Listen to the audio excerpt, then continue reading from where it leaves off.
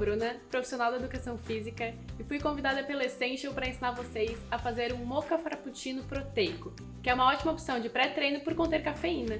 A gente vai começar diluindo o café solúvel. Eu usei uma colher de chá de café solúvel, mas vocês podem usar a quantidade que vocês gostam para uma xícara de café. É, agora que a gente diluiu o café, a gente vai bater com 6 pedras de gelo, com 130 ml de leite, e um scoop de Moonway chocolate que tem um gosto surreal. Agora que a gente colocou todos os ingredientes, é só bater e tá pronto.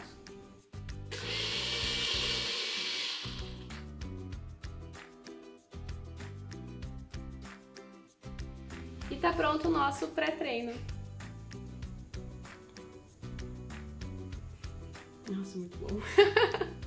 Se curtiu essa receita, curte, compartilhe com as amigas e deixe um comentário aqui embaixo se você provou, que eu quero saber o que, que você achou.